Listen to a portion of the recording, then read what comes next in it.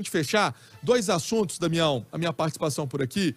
Na terça-feira está prevista uma reunião fundamental nessa visão do Cruzeiro em relação a Mineirão, a outras arenas e no caso tem a ver com Betim. O que que acontece? O Vitório Medioli na semana passada apresentou aquele projeto de uma arena na região metropolitana. Esse projeto já chegou nas mãos do CEO do Cruzeiro, Gabriel Lima. Então, na terça-feira, deve ter uma reunião de diretores da SAF do Cruzeiro com o prefeito Vitório Medioli. O que, que o Cruzeiro quer saber? Como que é essa obra, projeto, custo, o que, que pode ser interessante, o que, que pode ser importante aí em um provável, em um possível acordo. Mas, obviamente, nada descartando Minas Arena, nada descartando Mineirão, são apenas é, conversas para entendimento, para o Cruzeiro também ter uma noção do assunto. E uma outra